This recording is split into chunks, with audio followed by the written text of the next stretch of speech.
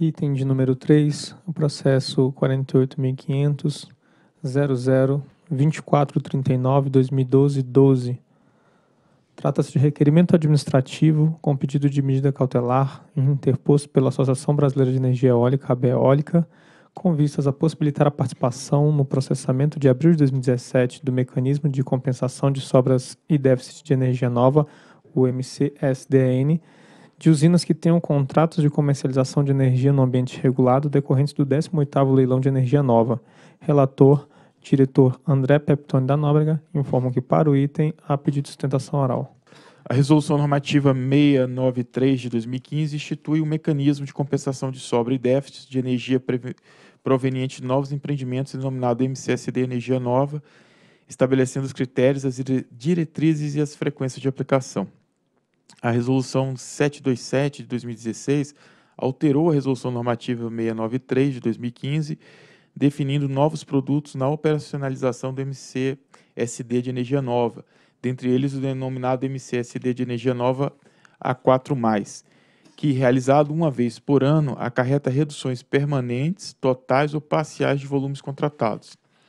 Em 1 de fevereiro de 2017, a Renova Energia, por meio da carta, questionou a participação no MCSD de energia nova A4+, dos geradores com contratos de energia nova, cujo processo inicial de suprimento era anterior a 1 de janeiro de 21. A Brooksfield, pela carta de 13 de março de 2017, arguiu à agência se poderia participar do MCSD de energia nova A4+, com a UTE Santa Cândida 2, argumentando que o contrato possuía cláusula de antecipação automática para 1 de janeiro de 2018, no caso de a usina entrar em operação comercial antes do processamento do mecanismo. A Câmara de Comercialização de Energia Elétrica, em 20 de março de 2017, protocolou carta comunicando o seguinte cronograma de processamento do MCSD de energia nova A4+. O envio de declarações pelos agentes até 31 de março, processamento em abril e duração das sessões entre distribuidoras de janeiro de 18 a dezembro de 21 e duração das ofertas de redução pelos geradores de janeiro de 18 até o fim do suprimento do contrato. A CCE, na mesma carta, solicitou esclarecimentos do ANEL quanto à participação dos agentes de geração do MCSD de energia nova a 4+, particularmente para os vencedores do 18º leilão de energia nova, cujos contratos estabeleceram maio de 2018 como mês inicial de suprimento, o que inviabilizaria a participação deles.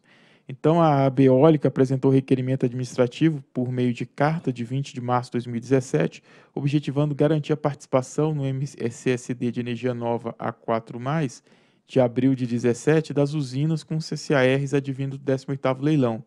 E a Abeólica pleiteou o seguinte, sorteio extraordinário do requerimento administrativo, medida cautelar e retificação do artigo 5º, inciso 3 da Resolução Normativa 693 de 2015. Em 22 de março, o processo foi distribuído por sorteio público extraordinário a essa relatoria e a nota técnica 56 de 24 de março de 2017 da SRM apresentou a análise do requerimento da Beólica contemplando o pleito dos demais agentes ao relatório. A sustentação oral será feita pelo senhor Francisco da Silva Júnior, representante da Beólica, quem convido para fazer uso da palavra.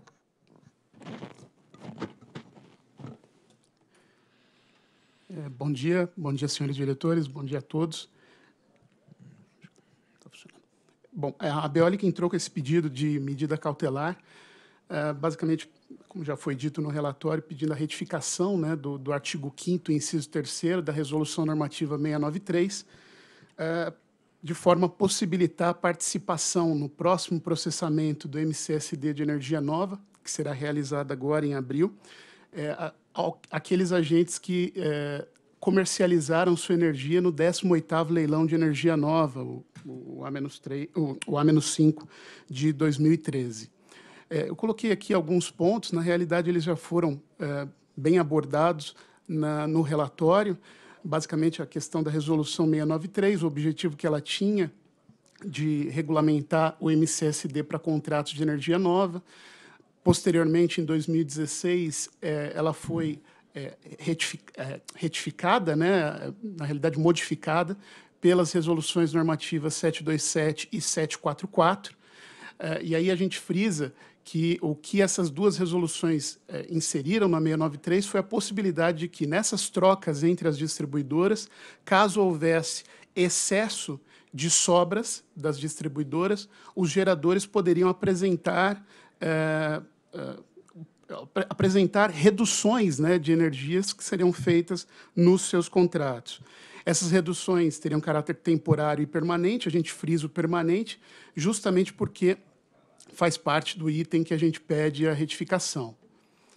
Ah, Para propor essas reduções, eh, existem duas condições eh, relacionadas ao início de suprimento, né? então, ao início e ao término do suprimento. Ah, a primeira condição, e a gente frisa essa condição, é que o início de suprimento ele deve ser igual ou anterior à data de início de vigência do processamento do MCSD de energia nova, e o fim do suprimento ele deve ser posterior à vigência do MCSD de energia nova. No artigo 5 da mesma resolução 693, no inciso terceiro, uh, fica estabelecido que essas, esses mecanismos né, de de é, é, compensação de sobras e déficits, eles vão ser realizados anualmente, antes da realização do leilão a menos 5, ou do processamento, né, de que trata o inciso segundo, para as sessões que terão é, vigência de 48 meses, a partir de 1 de janeiro do ano seguinte. E é esse o ponto que a gente destaca aqui como, de certa forma, problemático. A partir de 1 de janeiro de, do ano seguinte. Uh, ao a realização né, desse mecanismo uh, de compensação para a energia nova. Uh, por fim, a gente coloca aqui o comunicado 147 da CCE, que delimitou quais seriam as modalidades de eh, trocas né, entre as distribuidoras com possibilidade de redução por parte dos geradores. Então, o primeiro deles é o A0, é, basicamente, aqui no ano de 2017, de abril a dezembro de 2017, uma modalidade temporária, e o que a gente coloca à luz, né, o prisma, seria o A4+, é, que começa em 1 de janeiro de 2018 até dezembro de 2021. Isso, a troca entre as distribuidoras, a troca de contratos, e uh, as reduções, no caso, que serão apresentadas pelos geradores, ela vai ter caráter permanente. Tá? E aí, o ponto que a gente coloca como ponto de estrangulamento né, seria justamente que no inciso terceiro lá do artigo 5 da forma como ele está escrito, ele acaba impedindo a participação, então, uh, dos vencedores do segundo leilão A5 de 13. Isto porque eh, esses empreendedores, eh, nesse leilão, o início de suprimento dos contratos, ele ocorrerá a partir de 1 de maio de 2018. Isso foi uma novidade, algo bem específico que aconteceu para esse leilão, de 2005 até hoje, se a gente for olhar os leilões a menos 5, uh, eh, esse foi o único, na realidade, que teve data de início de suprimento diferente de 1 de janeiro. Tá? E, por essa razão, a gente coloca algumas razões, alguns motivos né, pelos quais a gente acredita que esses empreendedores devem ter o direito de participar dessa, dessa descontratação permanente que ocorrerá a partir de janeiro de 18. Então, o primeiro deles Uh, nós colocamos aqui que a resolução ela foi concebida né, para atender uh, datas padrões né, de início de suprimento dos contratos, ou seja, janeiro. Então, uh, essas datas elas são utilizadas normalmente pelo próprio Ministério de Minas e Energia com relação ao planejamento ali de cargas que são apresentados e também as declarações de necessidade que são feitas pelas próprias distribuidoras. e nós não verificamos que essa data de é, essa exclusão, vamos dizer assim, desses empreendimentos do segundo é, do, do, segundo A-5 de 2013 foi feita de forma proposital. Não foi. Na realidade, foi algo que acabou é, acontecendo, né? até mesmo na, na, na época em que foi aberta a audiência pública para a resolução normativa para a resolução normativa 727, é, acabou, acabou não se considerando durante a audiência pública é, o caso específico desses empreendedores, nem por parte da agência e nem por parte dos próprios geradores. Né? Acabamos é, não contribuindo em cima desse caso específico. Tá? Outro ponto também que merece atenção é um motivo que a gente acha que eles devem ser considerados é porque, é, de certa forma, acaba existindo uma falta de isonomia né, entre os geradores titulares dos CCARs isso porque é, essa diferença de datas, janeiro ou maio, não interfere em nada no cronograma que está sendo discutido para processamento do MCSD, o chamado A4+. Então, é, nós colocamos esse ponto aqui porque nós vemos que se, se eles forem impedidos de participar, por um lado vai ser ruim para o gerador, que muitos desses geradores é, já estão, muitas vezes, com seus empreendimentos atrasados, é, e eles estão esperando essa oportunidade justamente para poder reduzir os seus contratos.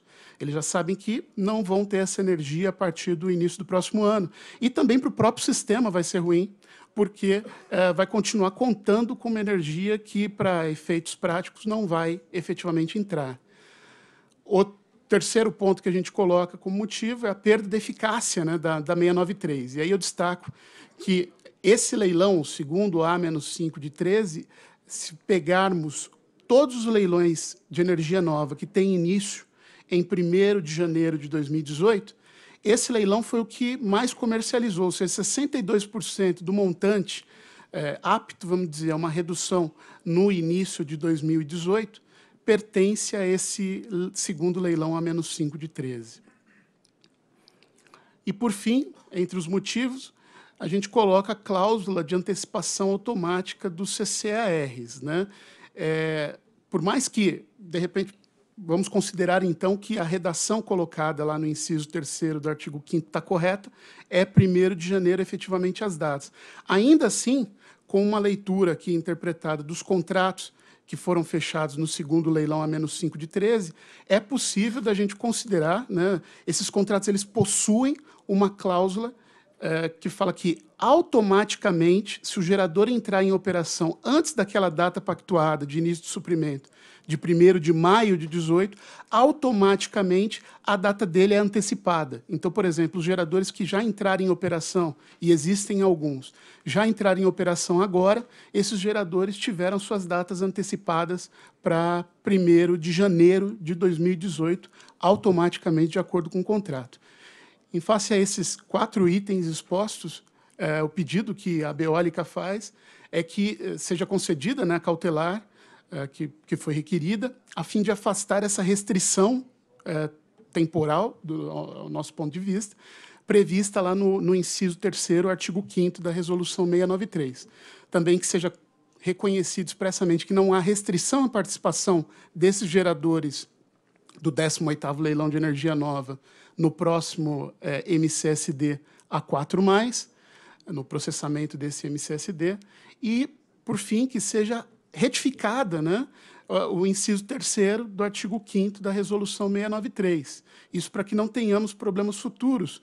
Haja vista que, por exemplo, alguns leilões, aí, principalmente A-3, eles têm data de início de fornecimento no meio do ano, ao longo do ano seguinte.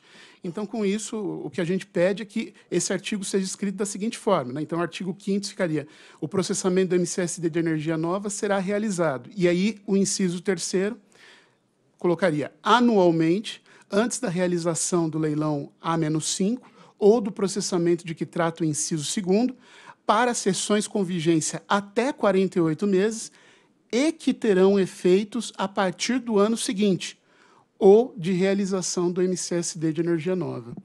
A gente agradece aí a oportunidade de participar nesse processo. Obrigado, Procuradoria. A Procuradoria opina pela presunção de juridicidade da decisão a ser proferida pela diretoria. O inciso 1 do parágrafo 2 do artigo 4 4A da Resolução 693 impõe restrição à participação do MCSD de energia nova a 4+, do gerador cujo contrato estabelece o início suprimento e data igual ou anterior ao início da vigência do processamento do mecanismo. Então a gente copia aqui a redação e está lá o inciso 1 dizendo prazo inicial de suprimento igual ou anterior ao início de vigência do processamento do MCSD de energia nova.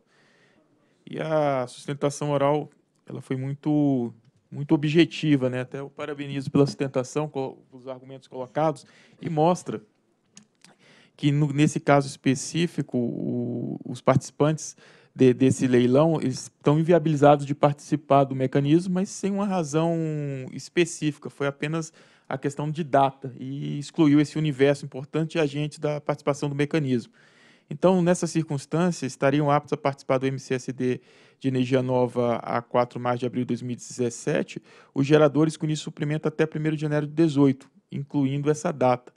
E segundo a SRM, essa restrição impedia que vários agentes advindo do 18º leilão de energia nova participassem do mecanismo, pois possui início de suprimento estabelecido em 1 de maio de 2018. E aqui, de novo, não tem uma razão de ser, foi apenas questão de datas e execução de leilão. Então, a superintendência destacou que os contratos assinados no 18º leilão de energia nova possuíam cláusula que permitia a antecipação automática da data de suprimento para 1 de janeiro de 2018, caso a usina adiantasse a operação comercial, o que levaria ao ajuste à data limite da norma. E diante dessa situação, a CCE numerou três cenários possíveis para os agentes do 18º leilão, solicitando para cada cenário orientação da ANEL sobre a elegibilidade das usinas para participar do mecanismo. Então, seria usinas com todas as unidades geradoras em operação comercial, usinas com apenas algumas de suas unidades geradoras em operação comercial e usinas com nenhuma unidade geradora em operação comercial. E a CRM esclareceu que a entrada em operação comercial de uma máquina configura a entrada em operação comercial da usina e fundamentou a, a afirmação referindo-se à nota técnica 3/2014 da SEM de 29 de janeiro de 2014, que, que fez esse registro.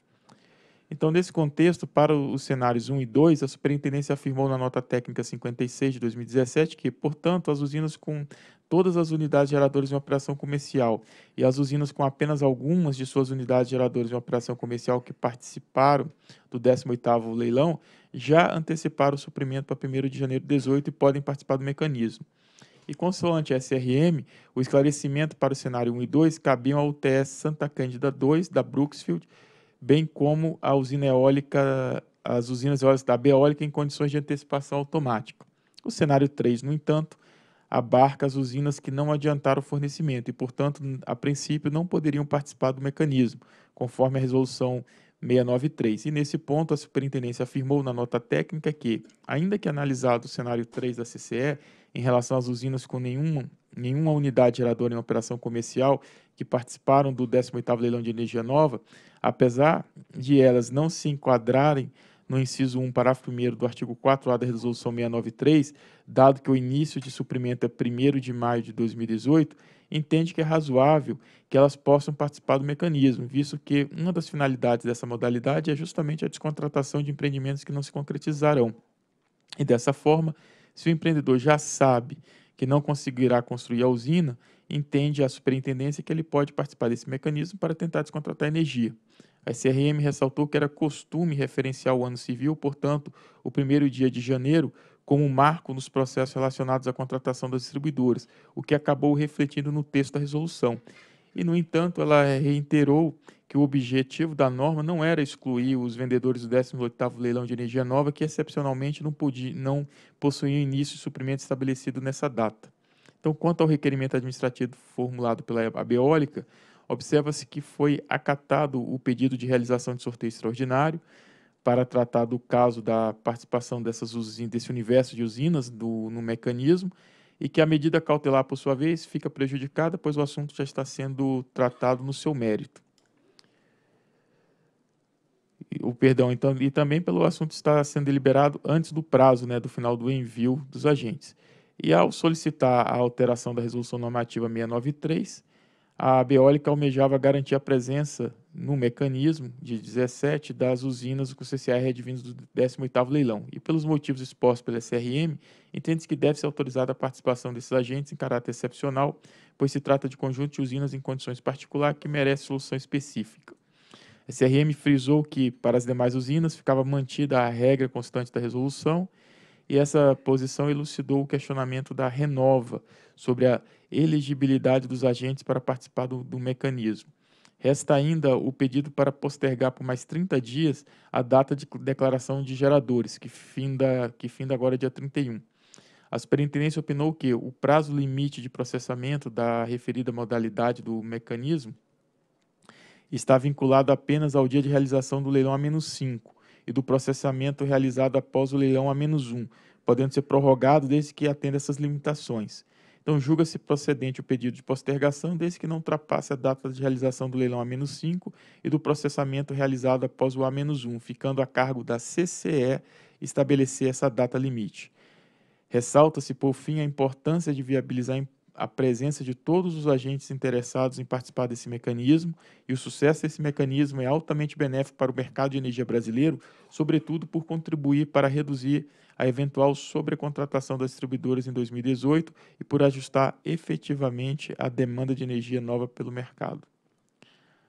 Bom, diante do exposto, e das considerações apresentadas no processo 48.500.00.2439.2012, dígito 12, voto por conhecer do requerimento administrativo com medida cautelar interposto pela Abeólica e, no mérito, dar-lhe provimento, ficando prejudicado o pedido de medida cautelar. E autorizar a CCE postergar a data de declaração dos geradores do MC SD Energia Nova A4+, desde que não ultrapasse a data da realização do leilão A-5 ou do processamento MC SD de energia nova posterior ao leilão a menos 1, como dispõe o inciso 3 do artigo 5 da Resolução Normativa 693-2015. É o voto. Em discussão. Em votação. Eu voto com o relator. Eu também voto com o Também relator. acompanho o relator. Também voto com o relator.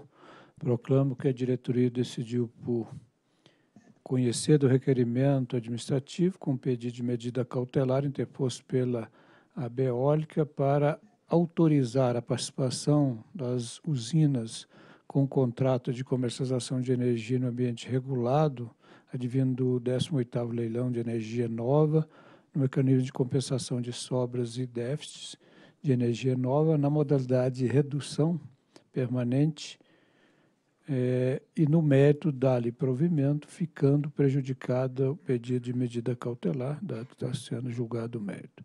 Também autorizar a CCE postergar a data de declaração de geradores do MCSDN a 4 mais, desde que não ultrapasse a data de realização do leilão A-5 ou do processamento desse leilão posterior ao leilão A-1, como dispõe o inciso 3 do artigo 5 da Resolução Normativa 693/2015. Próximo item.